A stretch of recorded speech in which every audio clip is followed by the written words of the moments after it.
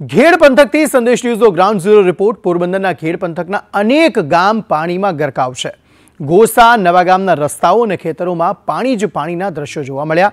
અવરજવર માટે ટ્રેક્ટર એક જ માધ્યમ બન્યું છે. વિસ્તારમાં છેલ્લા પાંચ દિવસથી પાણી ભરાયેલા છે.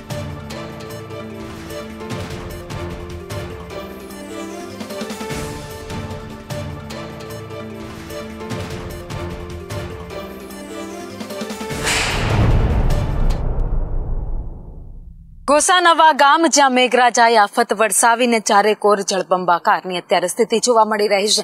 જ્યાં જુઓ જ્યાં નજર જાય ત્યાં સુધી માત્ર પાણી જ પાણી અહીંયા દેખાઈ રહ્યું છે.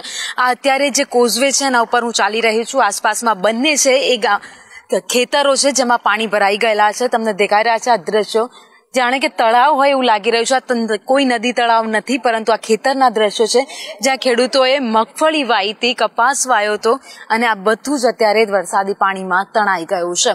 જોકે અત્યારે મોસમ બદલાઈ ગયો છે, પરંતુ જે આફત વરસાવી હતી, એમાંથી હજુ પણ ખેડૂતો બહાર આવે એવી કોઈ જ સ્થિતિ નથી લાગી રહી.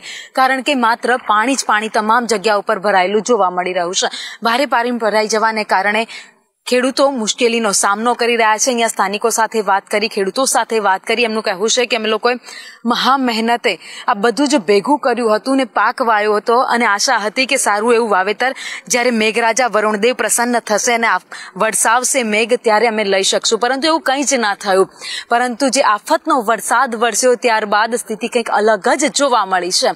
ચારે કોર માત્ર પાણી જ પાણી અત્યારે દેખાઈ રહ્યું છે અને ભારે વરસાદને કારણે આ જ્યારે સ્થિતિનો સામનો અહીંયાના લોકો કરી રહ્યા છે ગોસનવા ગામના લોકો કરી રહ્યા છે, તે કહી રહ્યા છે કે હવે તો આ પાણી ઉતરી જાય તો સારું, કારણ કે પાંચ પાંચ દિવસ જેટલો સમય થઈ ગયો, તેમ છતાં પણ આ પાણી ઉતરવાના નામ નથી લઈ રહ્યા.